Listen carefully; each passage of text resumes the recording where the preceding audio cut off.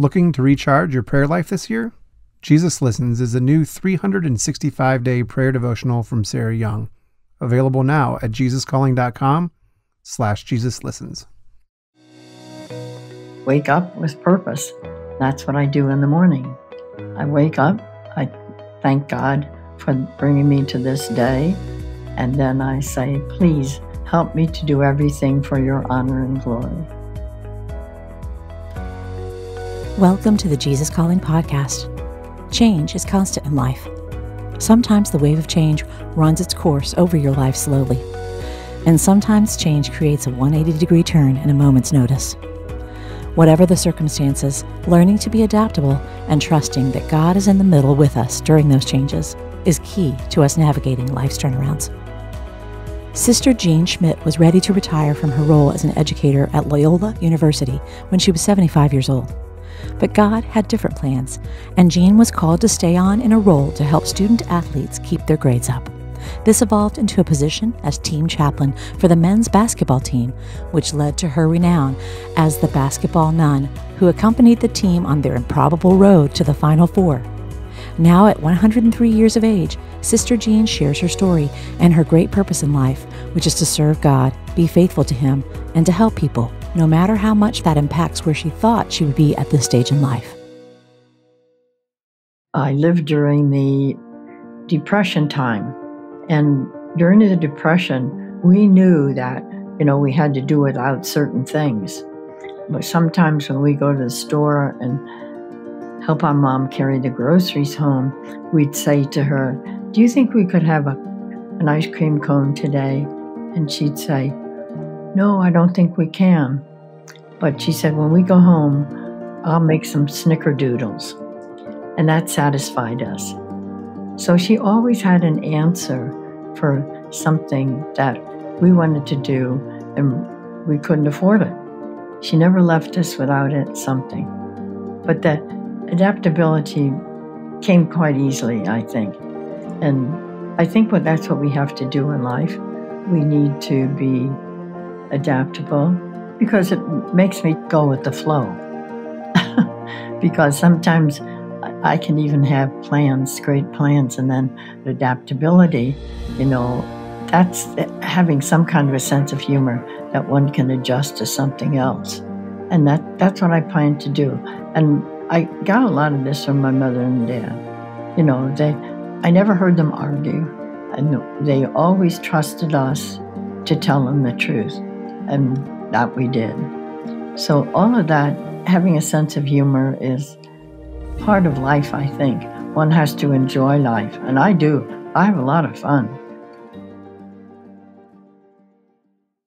I found myself being a good teacher because of other people and admiring how they taught and even with my the teachers that I had in school, I can remember some of the things that they taught and I followed their direction and did the same thing.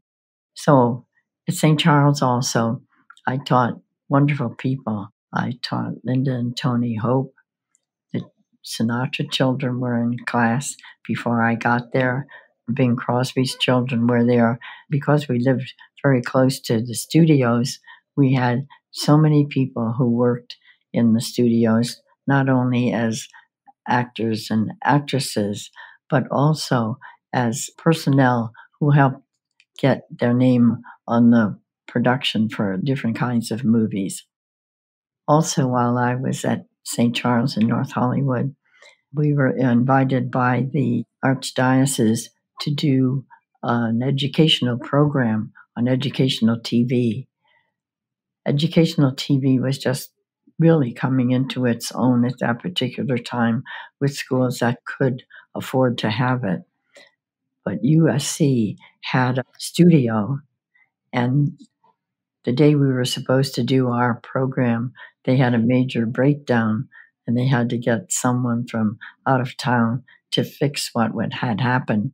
However, because we couldn't do it in their studio, since I had Linda Hope in my class at that time, I asked the principal if I could call Bob Hope and see if we could use his studio.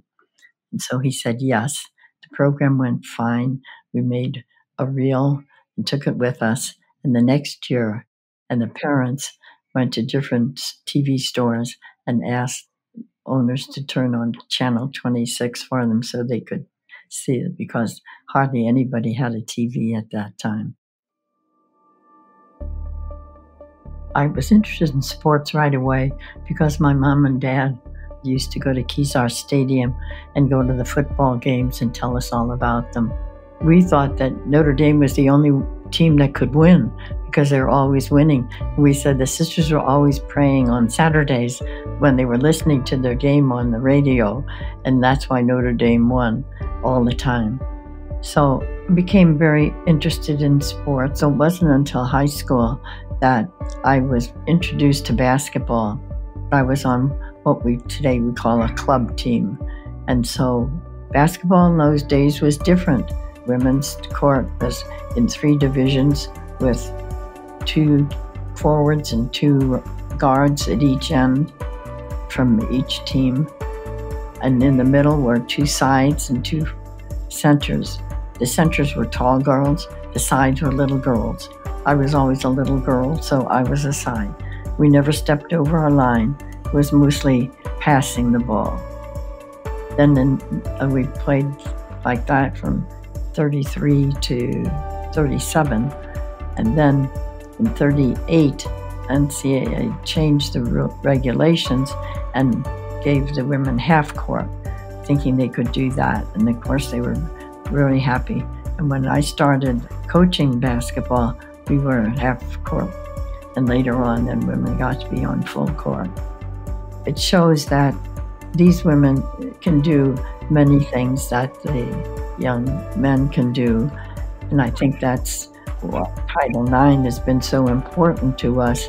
And when I think of it, we, when I was growing up and in my early days of teaching, there was no connection with sports because boys had most of the attention at that time.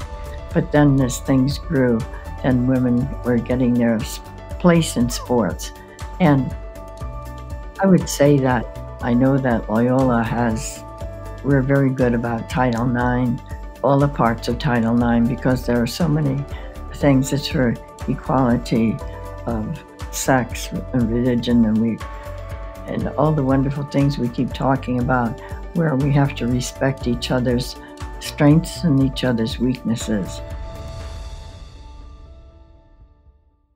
I was at Mundelein from 1961 to 1991. And when I first went there, I was the driver for the women's sports teams, but I was the driver. And so I had good contact with them and with their coaches. And it was fun and then Mundelein affiliated with Loyola in 1991. Of course, we brought with us our women's teams, and they became part of Loyola teams. In 1994, I partially retired, and the president at that time said, I know what you can do, Sister Jean. And I said, What's that? And he said, Well, young women and young men need a little help in being motivated to for classes and so forth. And he said, You're not going to be their academic advisor. And I said, Well, I'll be just their booster shooter then and get them to study and check with them to see whether their papers are due and, and see that they're doing fine. So they did fine. I saw every young man and every young woman on the basketball teams if they needed any assistance and I had chosen the ones I should talk to. And so we met once a week to review everything. And after two years, they didn't need me anymore. They were just on their own. And so then they asked me if I would be the chaplain to the men's basketball team. But I sort of more or less got to make my own job description. And from the very beginning, I used to meet with the teams, go to some of their practices, pray with them, and just talk to them about how they thought they would play in the game. And that, that was very minimal. But as time went on, I acquired more responsibility to talk with these young men I talk with students, and they come in sometimes with their own problems. And then I, I talk to them. I tell them, don't let anybody ever spoil your dream. Do whatever you can to fulfill that dream and take the steps necessary to do that. If the dream is not for you, you'll find out, and you'll find out that you want to do something differently. It's just so that you're not just getting up in the morning and just tumbling out of bed and just kind of sleeping in your while you're eating your breakfast and you have to have a purpose you have to have something in life that you set your goals to do and that makes your life much easier the team knows that they can come and talk to me anytime they want to i've always been interested in March Madness the nuns always had brackets. We followed the brackets and, you know, just to see who could pick the winning team. And some people got very excited about it, people who never knew basketball before. So it's just fun to see how it's actually developed over the course of the years. The Final Four. 2018, a memorable year for all of us at Loyola, for the city of Chicago, for country, for the world, because we got messages from all over the world. But then when we got to the Final Four that time, we were very happy. We were so delighted. And then we won our first game. Oh, that was great. And then we kept moving. So we went to Atlanta and we went to San Antonio. And in each of those cities, we were treated with such great Southern hospitality. I'll never forget it. The people were just so happy to see us. And of course, we were happy to be there. One would think you were walking into a Loyola, a hotel or a Loyola building with the banners and with the wallpaper that they had put on there and everything. It was so exciting that when I woke up after the first night in Dallas, I said to myself, whoop, this is not a dream, this is for real. So get going. And reporters were waiting to talk to me. Having those young men come off the court every time they won uh, one of those games was just so thrilling. There's really nothing better than hugging a nice sweaty body after you get a nice big W. And I remember that when Donte shot that ball, you knew it was going into the basket, and you could almost hear it slice right into that net. And then the next day, Clayton Custer threw the ball. It was almost like doing it carelessly but it went in, and one out, and then really went in. And I said to him, Clayton, I didn't think that was going in. And he said, I didn't either, Sister Jean, but I had to take the risk. And so each of those four games that we won were just such a thrill. When we did play Michigan, and of course we lost the, the game. But we were so happy to get where we were. That was so gratifying. And of course, coming home, oh, we had police escort, we had people waiting, hundreds of people waiting for us, we had reporters waiting for us, and reporters were asking not only the players who made those special baskets or played especially well, they asked every team member, and one reporter said, Sister Jean, your students really know how to talk. And so I passed that word on to faculty because I knew that they should be very proud of the young men they had in their class, that they every one of them could speak up as well as the other. And I know these young men who were in the Final Four will never forget those games that we had and never forget the hospitality of the people and how well we were treated by everybody. And now when we go places, people know us. They have the reputation, and so they want to live accordingly, and they've been role models for our younger teams. They live up to that culture. They take one game at a time. they play as a team and they give the ball to whoever can make the basket. That is such a wonderful thing with a team.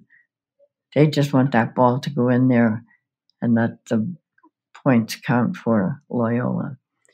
So I relive all those March Madnesses up to the Final Four so many times, not only during the season, but sometimes when I see these young men and they come back and talk and we just we review the whole thing all over again. And it's it's so thrilling to do that.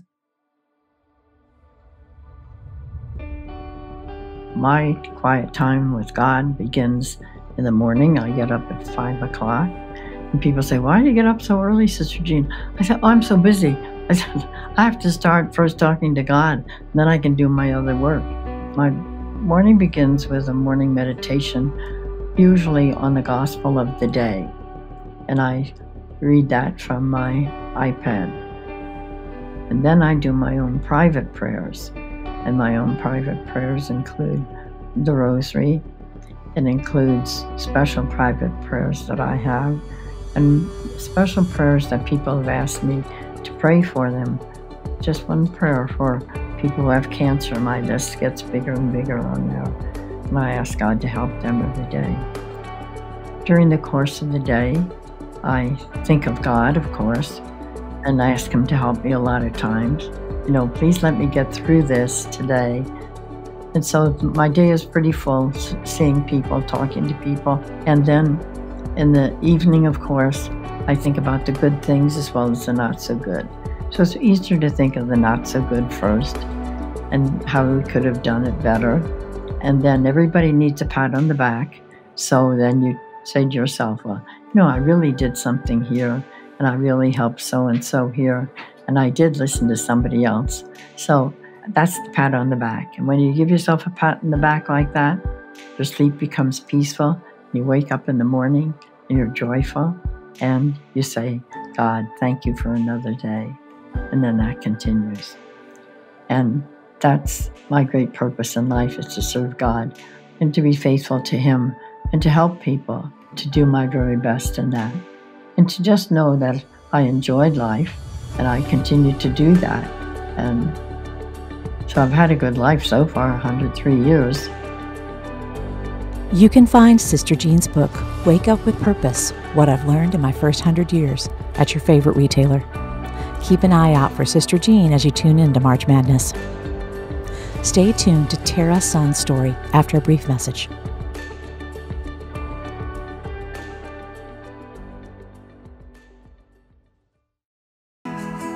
With so much demanded of us, it can be hard to find the time to grow our faith each day.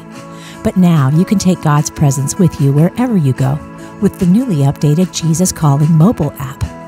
You'll be able to read a devotion for each day, look up scriptures, purchase Sarah Young products, and keep notes. You can even check out the latest podcast episodes and read the newest blog posts from our incredible guests. This sleek and easy to navigate app is available for purchase on both Apple and Android. Download it today.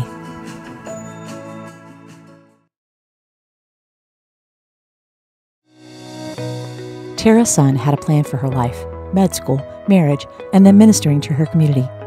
At a very young age, though, Tara's life took a major turn with an unusual medical diagnosis. She had to reframe her entire life as she dealt with her illness. What she discovered at this time became the focus of her writing and the message she wants to share with others. My name is Tara. My middle name is Sun, and my husband and I and our 10 month old son, we live in Oregon and we get to live and serve the Lord here in the West Coast. And I'm on a mission to help women know, love, and live God's Word and what that means to really know Him and then how that influences the way we live our faith out.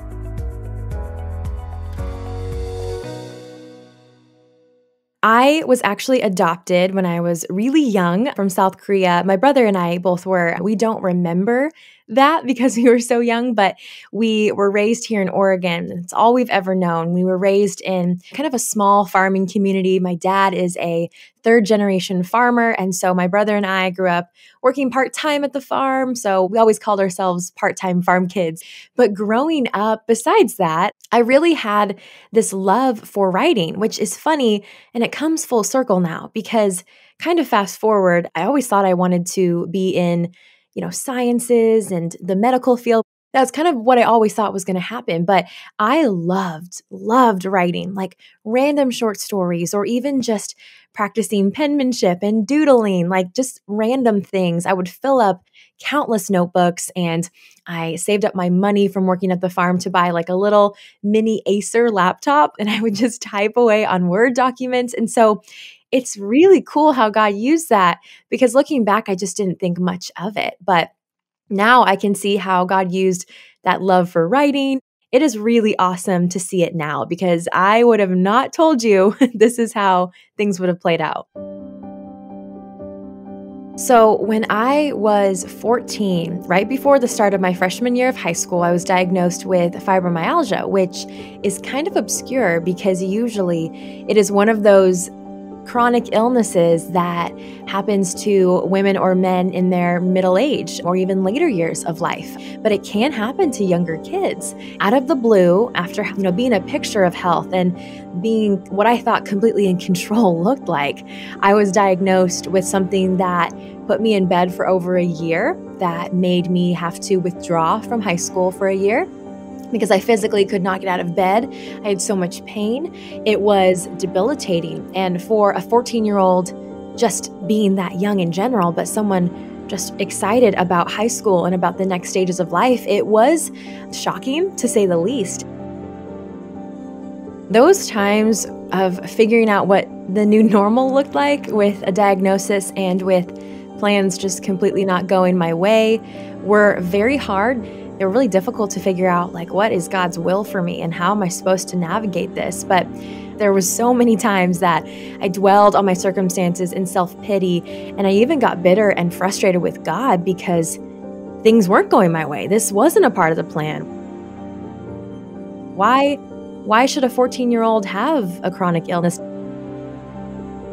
What I had to do was really come to the end of myself and look to God's unchanging promises in His Word that told me that I can trust in Him, that He makes my path straight, that if I, in all my ways, acknowledge Him, He will straighten those paths. He will show me what is next. I had to cling on to promises from the Old Testament, from the New, just things about his faithfulness, his character, because that's the only thing that remained steady and true in such turbulent, uncertain times, even if I didn't believe it, which I know sometimes we are told this, right? To cling to God's word, to cling to his promises, but we do that and we're like, but I don't believe it we have to, with discipline and with the strength that only God provides, like speak that, preach that truth over to ourselves, even if we don't believe it, because rehearsing that over and over through the power of His Spirit, we will believe it, but we need to lean in and not give up and remain connected to the true vine. So that was one of the biggest things that I believe helped me in that time of trying to figure out what this new normal looked like having goals and dreams and having a plan is not a bad thing. It's not a sin at all. That's a really big hope I have for people that they know that their God given dreams and their desires and just any of their plans that they want to see happen are not a bad thing necessarily. But what I had done with those dreams and those goals was taking it further, too far, where I believed that that was the only thing that was going to happen, that I had to work my hardest in my own strength to make that happen because there was nothing else for me. What I wanted, I was going to get. That's what I believed. And then when that diagnosis came and the rest of my life started unfolding, I realized I'm not in control. And that's actually okay. And God had something better for me. He just took me completely off of path and completely on a different blueprint than I could have ever come up with on my own. So that's when I had to learn to surrender my story and instead trust where God was leading. Writing was a huge part of that transformation. It didn't happen right away. It came from people telling me, Tara, you are so young and God has done so much. You should tell people about it. And I sat with that for a while. I'm like, I don't know what that means. I didn't know the potential that social media or writing had at that point. And it wasn't until my boyfriend at the time, my husband now, told me, you should just start like a blog or something. And I'm like, what's a blog? Like I hadn't been in that in that space. I was not aware of that. And so I started a free WordPress site thinking that my boyfriend and my mom and maybe my grandma would read it, but the Lord really took it somewhere.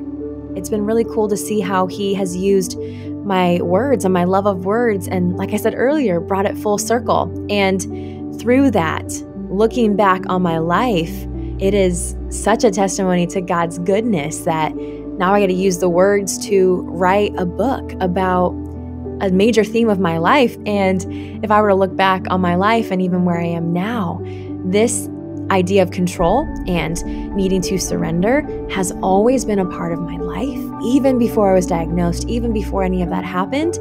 And it's incredible to see it now come to fruition.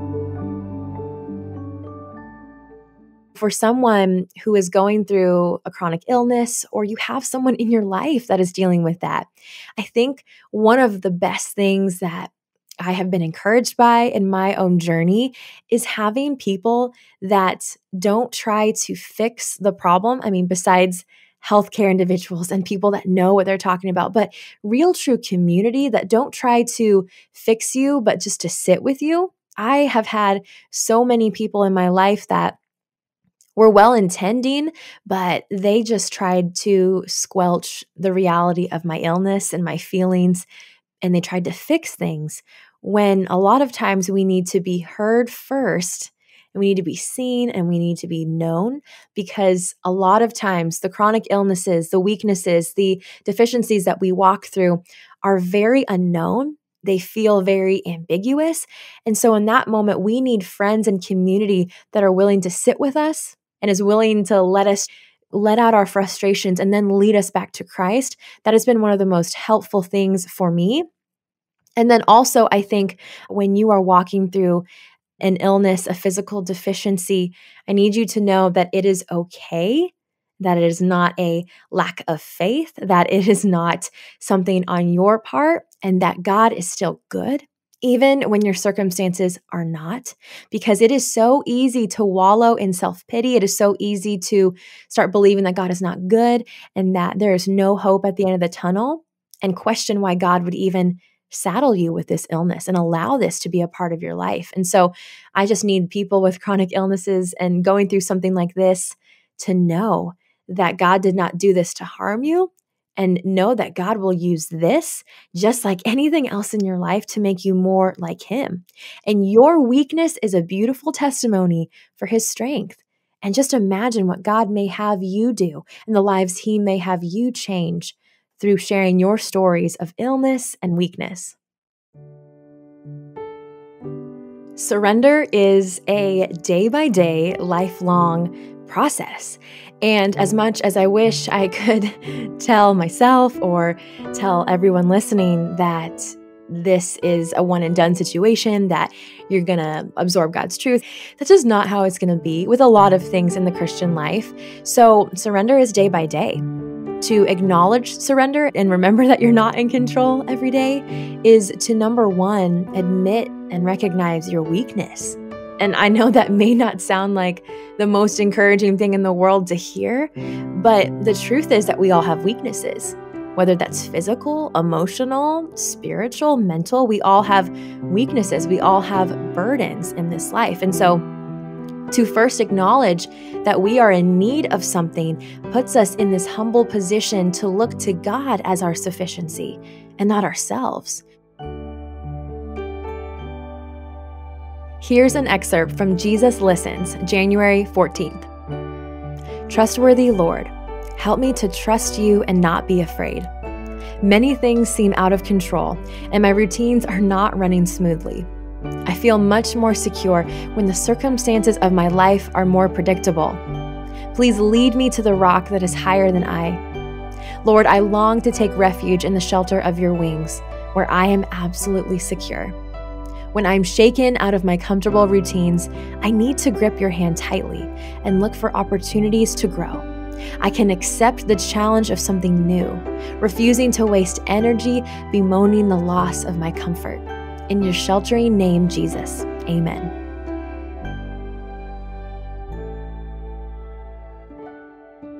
When we surrender, it is one of the most freeing acts we can do in our mental health. We don't have to strive and hustle and control because God is good enough and loving enough to write better stories. Our brains can rest. Our brains can release that anxiety and then, in turn, release the physical tension that control and anxiety have on our lives. God created whole beings, and that when we are abiding by His beautiful words from the Bible, when we are walking in His way, it doesn't just have benefits for our spiritual life, but our physical life and our mental life. And so God wanted us to be free. Like Matthew 11 said, He wanted us to have lighter burdens. And we burden ourselves when we try to grasp control instead of surrender. To learn more about Tara and to keep up with her recent work, follow her on social media and check out her new book, Surrender Your Story, available March 7th. If you'd like to hear more stories about learning to surrender, check out her interview with Meg Apperson. Next time on the Jesus Calling podcast, we'll hear from Grammy Award winning artist Erica Campbell, one half of the duo of former group Mary Mary. Erica shares her story of the ups and downs creating a career in the entertainment industry and her hard won lessons of confidence. I have a different kind of push when it comes to things that God has assigned me to. I have a different kind of drive when it comes to things that God has assigned me to because I'm always trying to find the lesson or where the enemy is trying to stop me. Want to hear more inspirational stories of people who have been changed by a closer walk with God? Then subscribe today to the Jesus Calling podcast on Apple Podcasts, Stitcher, or wherever you listen to your podcasts. And please be sure to leave a review, which helps us reach and inspire others with these stories. Plus, if you like seeing our guests as well as hearing them, you can find video interviews available on our YouTube channel at youtube.com Jesus Calling Book, on Facebook, and on the Jesus Calling Instagram page.